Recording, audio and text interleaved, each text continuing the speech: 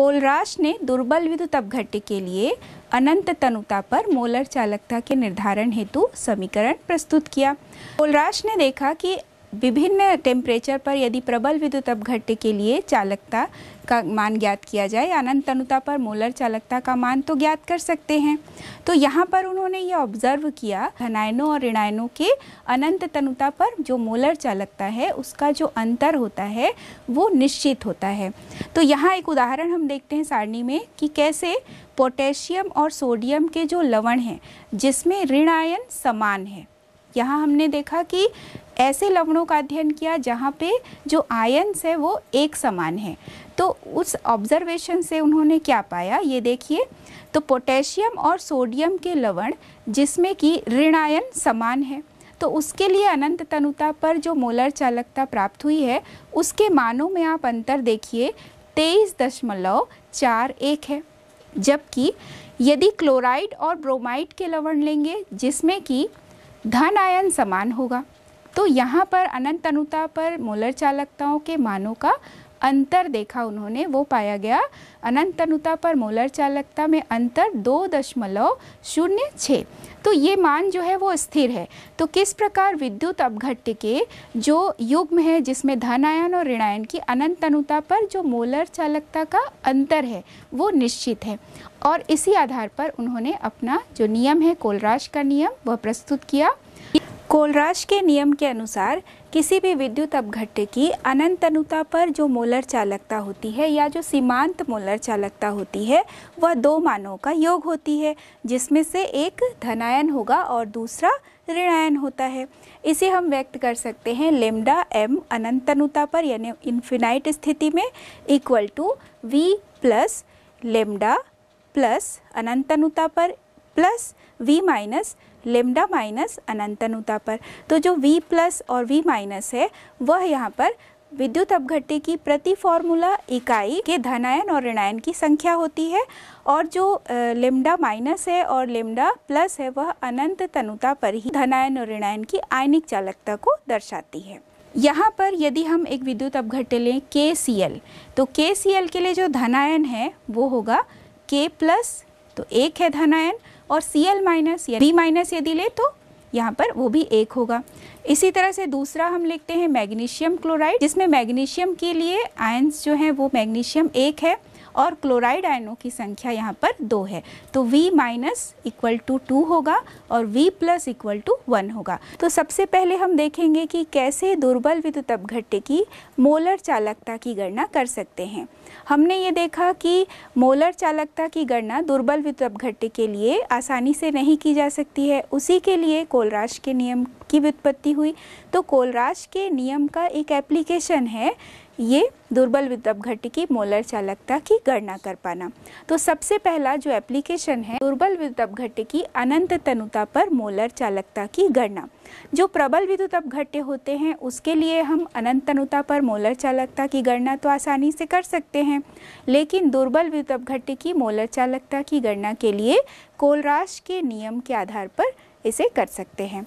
तो कोलराश ने जो अपने नियम में सूत्र दिया था उस सूत्र में लेमडा एम अनंत तनुता पर है equal to V plus lambda plus अनंत तनुता फिर प्लस वी माइनस अनंत तनुता पर लेमडा माइनस के द्वारा दर्शाया जा रहा है। उदाहरण ले रहे हैं एसिटिक अम्ल। जैसे एसिटिक अम्ल एक दुर्बल विद्युत अपघट्य है तो उसके लिए यदि मोलर चालकता की गणना करनी है तो हम विभिन्न प्रकार के जो प्रबल विद्युत अपघट्य लेंगे, उसकी सहायता से हम दुर्बल विद्युत अपघट्य की मोलर चालकता की गणना कर सकते हैं। यदि एसिटिक अम्ल की मोलर चालकता की गणना करनी है तो एसिटिक अम्ल के द्वारा बने हुए एक लवण ले लेते हैं, सोडियम एसिटेट एच हाइड्रोक्लोरिक अम्ल और एन इन तीनों की सहायता से हम C H three C O H या जो एसिटिक अम्ल है, उसकी मोलर चालकता की गणना कर सकते हैं। इसे हम इस प्रकार से सूत्र में दर्शा सकते हैं कि अनंत अनुता पर एसिटिक अम्ल की मोलर चालकता बराबर होगी। यदि हमें व्यक्त करना है उसे विभिन्न प्रकार से आयनिक अवस्था में तो यहाँ पर लेमडा अनंत अनुता पर C H three C O O minus जो कि प्लस लेमडा प्लस यहाँ अनंत अनुता पर ही ले रहे हैं तो लेमडा यहाँ पे प्लस तथ्य अनंत अनुता पर और H प्लस हो गया। तो यहाँ C S three C O H तो उसके लिए निकालेंगे। C S three C O H के लिए अनंत अनुता पर मोलर चालकता बराबर लेमडा अनंत अनुता पर एम नीचे हमने लिखा H C L H C L प्रबल विद्युत अपघट्य है। प्लस लेमडा अनंत तनुता पर स्मॉल m यहाँ दर्शाया जा रहा है, यानी अनंत तनुता पर मोलर चालकता हम ले रहे हैं, सोडियम एसीटेट की C H three C O O N A यहाँ हम माइनस करेंगे लवण को। यहाँ पर अनंत तनुता पर मोलर चालकता लिया जा रहा है, सोडियम क्लोराइड का। तो दो चीज़ों को हमने जोड़ा। यहाँ पर हमने HCl और सोडियम एसीटेट के अनंत अनुता पर मोलर चालकताओं का जो मान है, उसे हमने जोड़ा और उसमें से जो सोडियम क्लोराइड है, मोलर चालकता उसके अनंत अनुता पर जो हमें प्राप्त हुई है, उस मान को उसमें से माइनस करते हैं। तो हमें एसिटिक अम्ल की मोलर चालकता अनंत तनुता पर ज्ञात हो जाती है। अब हम इन सभी प्रबल विद्युत अपघट्यों को आयनित अवस्था में लिखकर देखते हैं। कैसे ये प्राप्त हुआ है वो हम जान लेते हैं। सबसे पहले आप देखिए कि अगर हम HCl को वियोजित करेंगे तो H प्लस और Cl माइनस के रूप में होगा। तो यहाँ H प्लस और Cl माइनस को हम लिख सकते हैं कि लेमडा अनंत अनुता पर है, H प्लस प्लस लेमडा अनंत अनुता पर Cl माइनस फिर प्लस लेमडा अनंत अनुता पर CH3COO माइनस प्लस लेमडा अनंत अनुता पर Na प्लस यहाँ हमने C S three C O N A को वियोजित किया। C S three C O N A अर्थात सोडियम एसीटेट को जब हम वियोजित करते हैं तो वो एसीटेट आयन और सोडियम आयन में वियोजित हुआ। अब इन दोनों मानों को जोड़े, फिर माइनस करते हैं। लेमडा अनंत तनुता पर N A plus plus lambda अनंत तनुता पर सी एल माइनस समान जो चीज़ है और विपरीत आवेश में है, उन मानों को हम कैंसिल करते जाते हैं तो क्या क्या चीज़ कैंसिल होगा? देखिए, प्लस में है लेमडा, अनंत अनंता पर सी एल माइनस, और दूसरी तरफ़ हम देख रहे हैं कि माइनस सी एल माइनस है लेमडा, अनंत अनुता पर तो दोनों चीज़ें यहाँ पर कैंसिल हो गई। इसी तरह से C S three C O minus के लिए प्लस में है लेमडा, अनंत अनुता पर, और जो एच प्लस है, वो भी यहाँ पे प्लस में है। लेकिन जो एन ए प्लस है, वो उसकी स्थिति देखिए, प्लस लेमडा अनंत अनुता पर एन प्लस और माइनस है अनंत अनुता पर यहाँ पर जो लेमडा अनंत अनुता पर एन प्लस। तो माइनस और ये प्लस दोनों को कैंसिल कर देते हैं। तो जो मान हमें प्राप्त हुआ, वो हुआ C S three C O minus का अनंत अनुता पर, जो मोलर चालकता है, यानी अलग अलग जो आयन है, धनायन और ऋणायन, और H प्लस के लिए अनंत अनुता पर हमें प्राप्त हो गई लेमडा का मान। तो प्राप्त हुआ हमें दुर्बल विद्युत घट्ट की अनंत तनुता पर मोलर चालकता। तो इसी प्रकार यदि हम किसी दुर्बल क्षार को ले लेते हैं, दुर्बल क्षार भी दुर्बल विद्युत अपघट्य है। यदि हम यहाँ पर अमोनियम हाइड्रोक्साइड का एग्ज़ाम्पल लेंगे तो अमोनियम हाइड्रोक्साइड के लिए जब हम मोलर चालकता की गणना करेंगे अनंत तनुता पर तो उसके लिए भी हम तीन अलग अलग प्रबल विद्युत अपघट्य की सहायता से इसे करेंगे। तो इसके लिए जो हमने लिया है, वो है अमोनियम क्लोराइड सोडियम हाइड्रोक्साइड एवं सोडियम क्लोराइड तो अमोनियम क्लोराइड और जो सोडियम हाइड्रोक्साइड है, दोनों मानों को जोड़ते हैं, दोनों के अनंत तनुता पर, मोलर चालकता के जो मान है, उसे हमने जोड़ा और उसमें से माइनस करते हैं सोडियम क्लोराइड के अनंत तनुता पर, मोलर चालकता के मान को. तो हमें प्राप्त होगा अमोनियम हाइड्रोक्साइड के लिए अनंत तनुता पर, मोलर चालकता का मान। अब हम दुर्बल विद्युत अपघट्य की वियोजन की मात्रा की गणना भी कोलराश के नियम के आधार पर कर सकते हैं। हमने ये देखा कि अनंत अनुता पर जो आयन है, पूर्ण रूप से आयनित अवस्था में रहते हैं, दुर्बल विद्युत अपघट्य हो, चाहे प्रबल विद्युत अपघट्य हो, यानी अल्फ़ा इक्वल टू हम वन ले लेते हैं। तो वियोजन की मात्रा की गणना भी हम दुर्बल विद्युत अपघट्य के लिए कर सकते हैं। तो इसके लिए यदि हम सूत्र लें तो अल्फ़ा को हम दर्शा सकते हैं वियोजित अणुओं की संख्या, बटे में लिखते हैं कुल अणुओं की संख्या। यानी कुल अणु कितने थे और उसमें से वियोजित होने वाले अणुओं की संख्या कितनी है? तो इसे हम अल्फ़ा या वियोजन की मात्रा से दर्शा सकते हैं। तो अल्फ़ा इक्वल टू, सूत्र है यहाँ पर, lambda M C upon lambda M अनंत तनुता पर, यानी अनंत तनुता पर मोलर चालकता नीचे लिखा गया है और सी सांद्रण पर जो मोलर चालकता है उसे हमने ऊपर लिखा। तो इस सूत्र में चूँकि अल्फ़ा प्राप्त होगा तो अल्फ़ा प्राप्त करने के लिए पहले हमें ज्ञात करना पड़ेगा अनंत तनुता पर मोलर चालकता का मान, दुर्बल विद्युत अपघट्य के लिए। तो इसे हम कोलराश के नियम से ज्ञात कर सकते हैं। तो वापस आप फिर से कोलराश के नियम वाले फॉर्मूला में आ जाइए कि कैसे हम लेमडा एम अनंत अनुता पर ज्ञात कर सकते हैं। तो लेमडा एम अनंत अनुता पर बराबर होता है भी प्लस फिर लेमडा अनंत अनुता पर प्लस प्लस यहाँ पर v माइनस और लेमडा अनंत अनुता पर माइनस तो इस आधार पर, इस सूत्र की सहायता से आपने अनंत अनुता पर मोलर चालकता को पहले ज्ञात कर लिया और उस आधार पर आप वियोजन की मात्रा की गणना भी कर सकते हैं। दुर्बल विद्युत के वियोजन स्थिरांक की गणना। तो वियोजन स्थिरांक की गणना के लिए हम यहाँ पर हेल्प लेंगे ओस्टवाल तलुता के नियम का। ओस्टवाल द्वारा ओस्टवाल तनुता का नियम दिया गया, जो मुख्य रूप से दुर्बल विद्युत अपघट्य के लिए ही कारगर है। तो यहाँ सबसे पहले हम एक दुर्बल विद्युत अपघट्य ले लेते हैं, वो है ए बी ए बी का जब आयनन हुआ तो ए प्लस एवं बी माइनस में वह आयनित हुआ। प्रारंभ में उसका मान है वन और दूसरी तरफ़ ए प्लस और बी माइनस चूँकि यहाँ पर विघटन प्रारंभ नहीं हुआ है, वियोजन प्रारंभ नहीं हुआ है तो उसका मान है शून्य और शून्य, यानी ए प्लस का मान भी शून्य और बी माइनस का मान भी शून्य। जब कुछ वियोजन हुआ, यानी अल्फ़ा वियोजित हुआ अणु तो यहाँ पर अल्फ़ा प्लस है और अल्फ़ा जो बी माइनस है, वो भी अल्फ़ा फॉर्म में वियोजित हुआ। तो इसमें से जो वन है वन में से अल्फ़ा का मान माइनस करेंगे। तो वन माइनस अल्फ़ा, दूसरी तरफ़ अल्फ़ा और अल्फ़ा। उस पूरे विलियन में कितने अणु का वियोजन हुआ? तो यहाँ पर जो ए बी है, दुर्बल विद्युत घट्य उसमें हम देख रहे हैं कि one minus alpha upon V, यानी भी में वन माइनस अल्फ़ा वियोजित हो गया। दूसरी तरफ़ हम देखते हैं कि ए प्लस के लिए, यदि हम इसको देखें तो क्या होगा? अल्फ़ा अपॉन वी, और दूसरी तरफ़ जो बी माइनस है, उसके लिए भी होगा अल्फ़ा अपॉन वी। तो द्रव्य अनुपाती क्रिया का नियम क्या कहता है कि जहाँ पर उत्पादों के विभिन्न जो मोलर सांद्रताएँ होती हैं, विभिन्न उत्पाद के जो एक्टिव मास होते हैं, उनके गुणनफल और जो अभिकारक होते हैं, उनकी मोलर सांद्रताओं का जो गुणनफल होगा, वो सदैव एक स्थिरांक होता है। तो के बराबर हम लिख सकते हैं अल्फ़ा बाई वी फिर into alpha by V upon one minus alpha by V तो यहाँ पर जो अल्फ़ा बाई वी है और दूसरा बी माइनस के लिए भी अल्फ़ा बाई वी है तो उसका जब हम मल्टीप्लिकेशन करेंगे तो हमें प्राप्त होगा alpha square upon V square, और जो वन माइनस अल्फ़ा के नीचे वी था वह ऊपर चला गया तो वन माइनस अल्फ़ा नीचे और वी ऊपर। तो वी और नीचे यहाँ वी स्क्वायर है तो उसमें हम कैंसिल करेंगे तो हमें प्राप्त होगा alpha square upon V equal to K. तो यहाँ जो वन माइनस अल्फ़ा हमने लिखा था, इसे हमने नेग्लेक्ट कर दिया, नगण्य मान लिया। ऐसा क्यों?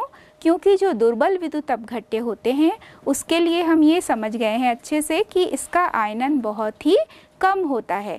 तो वन माइनस अल्फ़ा जो है, इसमें हम कह सकते हैं कि अल्फ़ा बहुत ही कम है।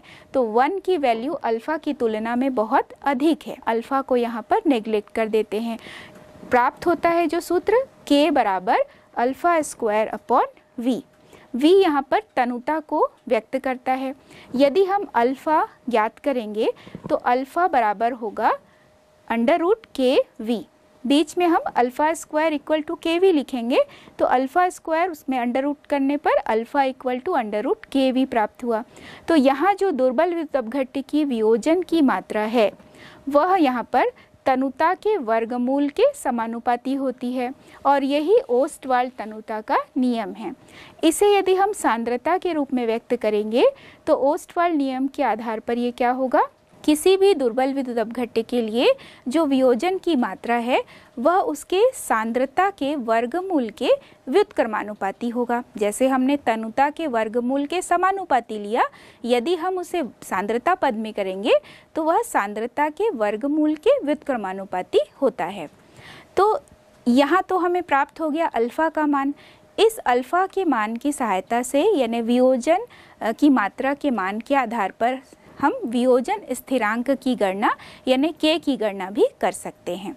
कोलराश के नियम की सहायता से जो अल्प विलय लवण होते हैं, उनके लिए कैसे हम विलेयता को ज्ञात कर सकते हैं, ये जानेंगे।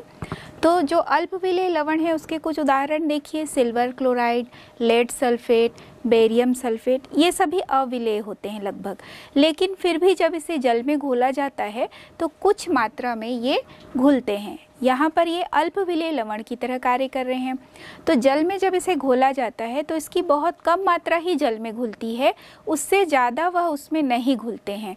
तो कम मात्रा घोलकर ही वह जल में एक संतृप्त विलयन बना लेते हैं। तो ये जो संतृप्त विलयन बनता है, उसकी चालकता की गणना भी हम कोलराश के नियम की सहायता से कर सकते हैं। क्योंकि जो संतृप्त विलयन यहाँ बना है, चूँकि उसमें विलेता लवण की बहुत ही कम है तो वह एक तनु विलयन की तरह कार्य करता है। अनंत तनुता पर जो यहाँ तुल्यांक चालकता है, वह इसकी सी सांद्रता पर जो तुल्यांक चालकता है, उसके बराबर हो गई।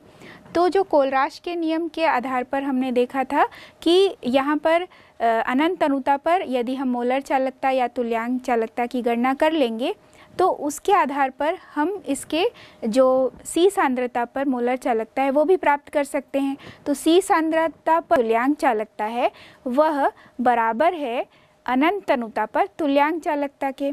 तो यदि यह के इंटू वी के बराबर है तो अनंत तनुता पर जो तुल्यांक चालकता होगी, वह भी के इंटू वी के बराबर होगी।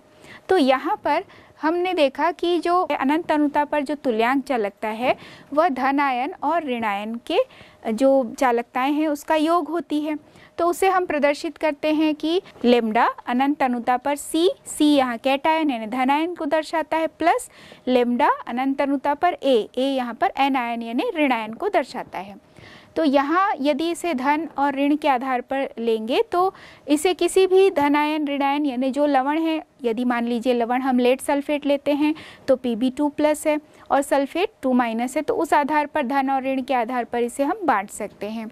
तो अनंत अनुता पर जो तुल्यांक चालकता है, वो हमें प्राप्त हो गई कप्पा इंटू वी तो यहाँ पर हम वी को ज्ञात कर सकते हैं लेमडा अनंत अनुता पर प्लस प्लस लेमडा माइनस अनंत अनुता पर अपॉन हमने लिया कप्पा इक्वल टू वी तो यहाँ हमें तनुता प्राप्त हो गई।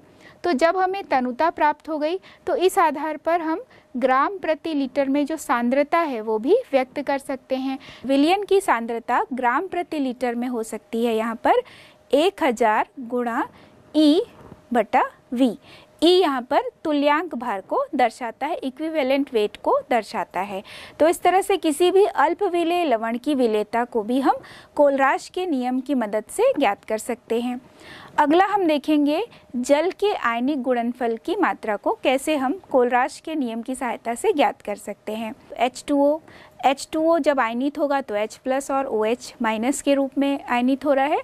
तो यदि हम H प्लस और OH माइनस की सांद्रता को व्यक्त करते हैं और उसके आयनों के गुणनफल को देखते हैं K W equal to H plus उसकी मोलर सांद्रता, जो भी उसकी सांद्रता होगी, उस सांद्रता पद को हम बड़े ब्रैकेट के रूप में दर्शाते हैं।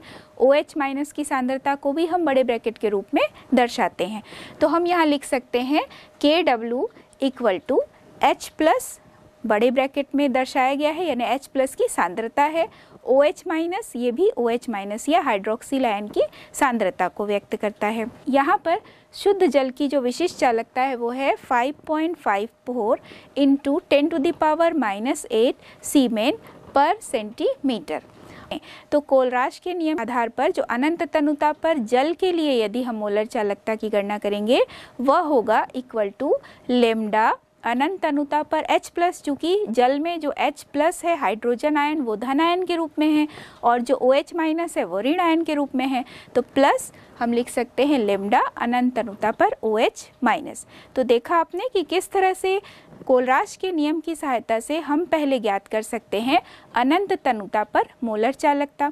जब अनंत तनुता पर मोलर चालकता की गणना हो गई तो अब हम यहाँ से V की गणना कर सकते हैं और V की गणना करने के आधार पर या V की गणना करने के बाद हम H प्लस और ओ OH माइनस की सांद्रता को भी ज्ञात कर सकते हैं।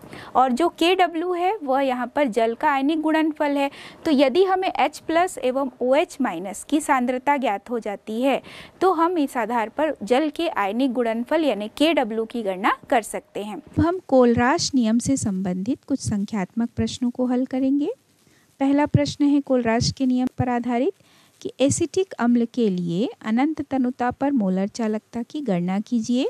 इसके लिए दिया हुआ है, अनंत तनुता पर मोलर चालकता एच के लिए 426 प्रति ओम सेंटीमीटर स्क्वायर पर मोल और अनंत तनुता पर एन के लिए जो मोलर चालकता का मान है, वह है 126 पर ओम सेंटीमीटर स्क्वायर पर मोल। अनंत तनुता पर सोडियम एसीटेट के लिए मोलर चालकता की वैल्यू 91 पर ओम सेंटीमीटर स्क्वायर पर मोल है। हल करने पर जो हमें वैल्यू प्राप्त होती है, इसे हम एसिटिक अम्ल दुर्बल विद्युत अपघट्य है तो उसके लिए ज्ञात करना है। तो सबसे पहले सोडियम एसीटेट के लिए जो अनंत अनुता पर मोलर चालकता एच के लिए अनंत अनुता पर मोलर चालकता, दोनों को हम योग करेंगे और उसमें से जो लवण है, यानी एन उसके अनंत अनुता पर मोलर चालकता का जो मान दिया है, उसका उसमें से अंतर करेंगे। तो हमें प्राप्त होगा अनंत अनुता पर दुर्बल विद्युत अपघट्य एसिटिक अम्ल के लिए मोलर चालकता का मान। तो सोडियम एसिटेट के लिए अनंत अनुता पर मोलर चालकता की वैल्यू है 91 प्लस एच के लिए अनंत अनुता पर मोलर चालकता है 426 माइनस 126 जो कि सोडियम क्लोराइड की अनंत तनुता पर मोलर चालकता है। हल करने पर जो मान प्राप्त होगा, तीन सौ इक्यानवे पर ओम सेंटीमीटर स्क्वायर पर मोल। प्रश्न दूसरा कोलराश नियम पर आधारित शून्य दशमलव शून्य शून्य दो चार एक मोलर एसिटिक अम्ल की चालकता सात दशमलव आठ नौ छः गुणा दस के घात माइनस फाइव सीमेंस पर सेंटीमीटर। इसकी मोलर चालकता की गणना करनी है। यदि एसिटिक अम्ल के लिए अनंत तनुता पर मोलर चालकता का मान तीन सौ नब्बे दशमलव पाँच सीमेंस सेंटीमीटर स्क्वायर पर मोल हो तो वियोजन स्थिरांक की गणना करनी है। यहाँ lambda M equal to kappa into thousand upon M value दी हुई है कप्पा के लिए seven point eight nine six into ten to the power minus five into thousand upon zero point zero zero two four one तो answer होगा molar चालकता का thirty two point seven six वियोजन की मात्रा का सूत्र है alpha is equal to C सांद्रण पर मोलर चालकता बटा अनंत तनुता पर मोलर चालकता। हमने अभी ज्ञात किया सी सांद्रण पर मोलर चालकता, यानी thirty two point seven six और प्रश्न में दिया हुआ है, अनंत तनुता पर मोलर चालकता का मान, वह है तीन सौ नब्बे दशमलव पाँच हल करने पर वियोजन स्थिरांक की वैल्यू आती है eight point four into ten to the power minus two यहाँ वियोजन स्थिरांक, हल करने पर वियोजन की मात्रा हमें प्राप्त होती है eight point four into ten to the power minus two K A यानी वियोजन स्थिरांक का सूत्र है के ए बराबर C alpha square upon one minus alpha C की वैल्यू है यहाँ पर शून्य दशमलव शून्य शून्य दो चार एक गुणा आठ दशमलव चार गुणा दस की घात माइनस दो और इसका होल स्क्वायर लिया गया है। Upon one minus eight point four into ten to the power minus two तो यहाँ हल करने पर जो वैल्यू आएगी के ए यानी कि वियोजन स्थिरांक का मान आएगा 1.86 point eight six into ten to the power minus five Kohlrausch नियम पर आधारित तीसरा प्रश्न है, शून्य दशमलव शून्य दो पाँच मोल प्रति लीटर फॉर्मिक अम्ल की चालकता 46.1 सीमेंस स्क्वायर पर मोल है। इसकी वियोजन मात्रा एवं वियोजन स्थिरांक की गणना कीजिए। तो यहाँ अनंत अनुता पर जो H प्लस है, उसके लिए चालकता दी हुई है तीन सौ उनचास दशमलव छः पाँच सीमेंस सेंटीमीटर स्क्वायर पर मोल एवं फॉर्मेट आयन के लिए जो अनंत तनुता पर चालकता दी हुई है, वो है 54.6 सीमेन सेंटीमीटर स्क्वायर पर मोल सी बराबर प्राप्त हुआ है, यहाँ पर सी का मान दिया हुआ है शून्य दशमलव शून्य दो पाँच मोल पर लीटर यहाँ लेमडा एम की वैल्यू है forty six point one siemens centimetre square पर मोल अल्फ़ा एवं के यानी वियोजन की मात्रा अल्फ़ा और के यानी वियोजन स्थिरांक का मान हमें ज्ञात करना है। तो सबसे पहले हम अनंत तनुता पर जो फॉर्मिक अम्ल है, इसकी मोलर चालकता ज्ञात करेंगे। तो अनंत तनुता पर मोलर चालकता ज्ञात करने के लिए हमें हाइड्रोजन आयन की मोलर चालकता की वैल्यू अनंत तनुता पर दी गई है। और फॉर्मेट आयन की अनंत तनुता पर मोलर चालकता दी हुई है। दोनों को प्लस करेंगे तो 349.65 H प्लस के लिए और एच सी ओ माइनस यानी फॉर्मेट आयन के लिए 54.6 404.2 सीमेन सेंटीमीटर स्क्वायर पर मोल अल्फ़ा प्राप्त होते हैं यहाँ पे। सी सांद्रण पर मोलर चालकता एवं अनंत तनुता पर इसकी मोलर चालकता का अनुपात। तो 46.1 सी सांद्रण पर हमें प्राप्त हुआ है मोलर चालकता का मान।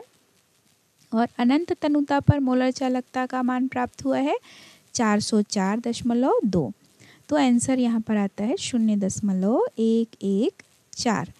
अब हम वियोजन स्थिरांक की गणना कर सकते हैं।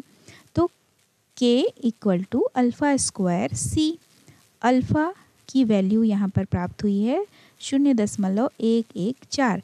तो स्क्वायर है तो शून्य दशमलव एक एक चार इंटू शून्य दशमलव एक एक चार इंटू सांद्रण यहाँ पे है, शून्य दशमलव शून्य दो पाँच। तो जो आंसर है वो हमारा प्राप्त होता है, शून्य दशमलव शून्य शून्य शून्य तीन दो पाँच फोर। हम इसे सरल करके लिख सकते हैं।